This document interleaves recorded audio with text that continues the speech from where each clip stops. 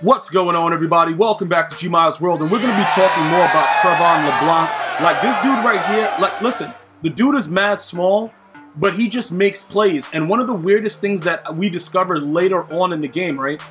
You know, covering a corner route one-on-one is probably, I would say, near to impossible throughout the entirety of Madden 20 once people figured out that you could just roll outside the pocket and just throw the ball anywhere. Uh, it became a situation where it was really, really wild. Now, for those of you guys that are asking about it, like, you know, going into 21, will it still be OP?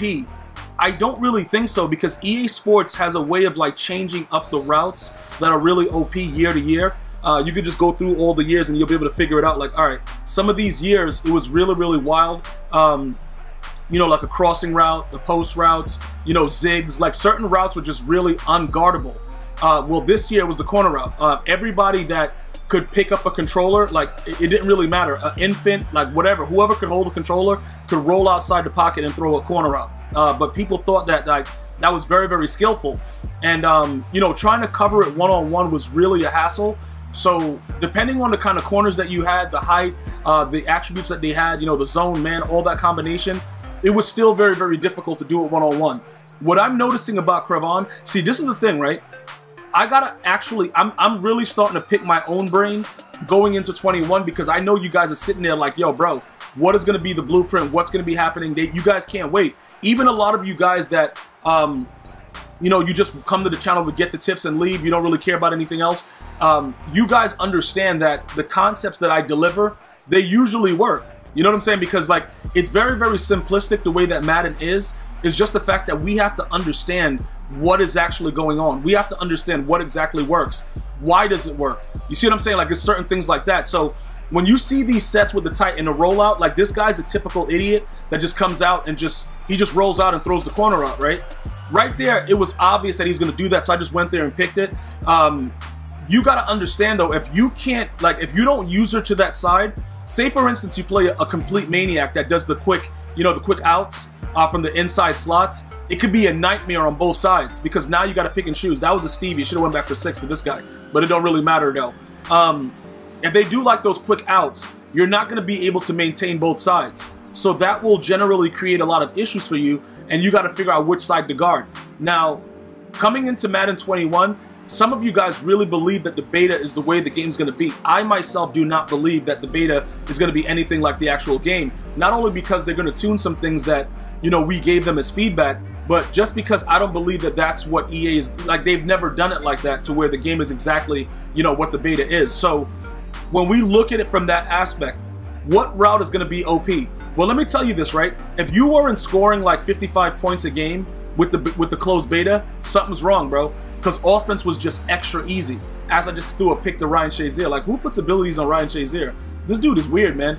Um, but again, when you look at the fact that it was so easy to throw the ball in the beta, I don't think that that's going to be the case either with, you know, Madden 21 because remember, the cover guy, the cover athlete usually has a lot to do with the way the game's going to be. You know, you, if you're playing Madden 20, you know that it was all about, you know, throwing the ball on crazy angles, running backwards off your back foot, your butt cheeks out, in a G-string, just throwing the ball. You know, EA addressed all of that in their gridiron notes. They looked at it like, I couldn't believe, like, I was reading through the gridiron notes and they were saying it like, yo, some of these things to the eye were ridiculous. And that's pretty much what I've been saying for a while. So it's good to know that they understand, like, Patrick Mahomes is a goon, and I think he's going to probably be one of the greatest quarterbacks, if not the greatest, if he's able to stay healthy and keep that team around him for the most part. The arm strength and the way he's able to throw the ball off you know, at any angle, the dude is unbelievable. So I understand what they were trying to do with Madden 20, but everybody was able to do it. So that became a major issue. If you want to think about it according to like what Madden 21 is going to be with Lamar Jackson, just think about Truzz, right? You can't fumble the ball once you're in the zone, right? So when you get that, uh, when you uh, activate that X factor, a lot of people are going to be running around not with Lamar Jackson, but with Michael Vick. Why is that going to be? because Michael Vick is going to have the you know the, the further throw power. He's going to be a stronger arm earlier in the game because for some reason EA Sports doesn't give him you know Lamar Jackson doesn't re really get that throw power early in the game. So I'm giving you guys the insight right now because you guys will be able to come back and say, yeah, Gmia did say that was going to happen. The abilities that they give to the cover athletes, the reason like like watch how he plays this corner. You see that? Like usually they're nowhere near the corner route, but he's playing it one on one. I don't know what I'm doing and why it's happening, but it's working. Um, the cover athlete abilities that go to other players, that's what makes it OP.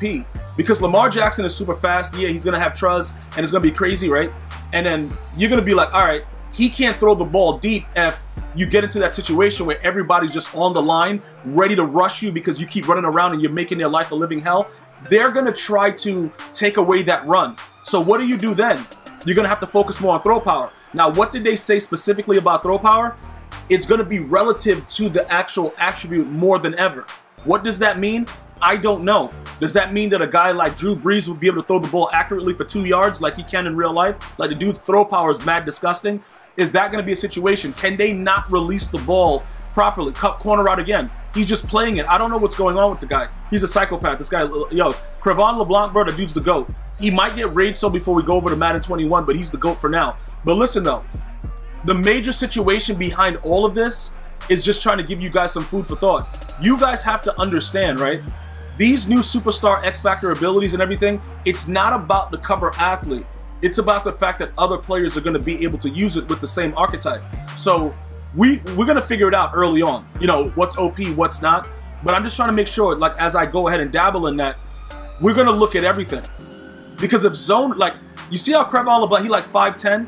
If zone attributes are really overhauled and it really matters like the way that this guy is playing right now for us at the end of the year, we're going to be in a different focus. Now I can't really always focus on the, the height of the corner. Because you see, you got to just go and, you know, you got to follow the guidelines in which EA tunes the game and how they patch it and stuff, and you have to adjust which is why all of my veterans that are here right now, you guys know I rate sell a player every day once Madden starts, the new Maddens, because EA consistently changes up what's going on. So once I see it and I do it again and I do it again, that's something that EA did. Like it's not something that I'm just making up and I show it to you. That's why I love the fact that you guys have been out here supporting my gameplays. You, you know, you guys, we're to give you guys so many more gameplays coming in Madden 21. Hopefully you guys continue to support it as well so I can continue to show the proof because that's what you guys asked for. Gmia, can you show us what you're talking about? You know, shout out to you guys that just wanted to see it. And, you know, we were, you know, people were really watching and seeing and understanding, all right, this is why this guy's raging about this guy. This is why this guy sucks. So you can see with this right here, he's going to pause the game and do what's right. His goldfish wants to slap box. He's going to go do that. He's going to go ahead and rage quit, and that's what he has to do, and that's fine. We're going to move on and get everything else done that we have to get done. But I'm to tell you right now, LeBlanc is like, he, he's goldish. Now, he is a golden ticket, and there are more rare, and the prices are crazy, but it's good to know that whatever we figured out right now, it may work at the launch of Madden 21. So if corner routes are happen to be an issue, we'll be able to figure that out together. I want you guys to be safe. I'm to see you guys and girls next time. One love, y'all.